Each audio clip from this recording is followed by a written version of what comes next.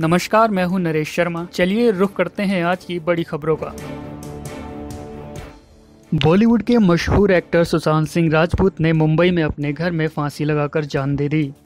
सुशांत सिंह ने अपने करियर की शुरुआत टीवी सीरियल किस देश में है मेरा दिल से की, लेकिन उनको पहचान मिली एकता कपूर के टीवी सीरियल पवित्र रिश्ता से।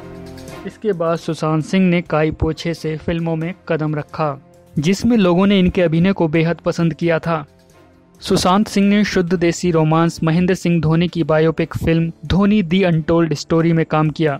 सुशांत सिंह ने आज दुनिया को ज़रूर अलविदा कह दिया, लेकिन वो हमारे दिलों में हमेशा ज़िंदा रहेंगे। Bureau report crime news 18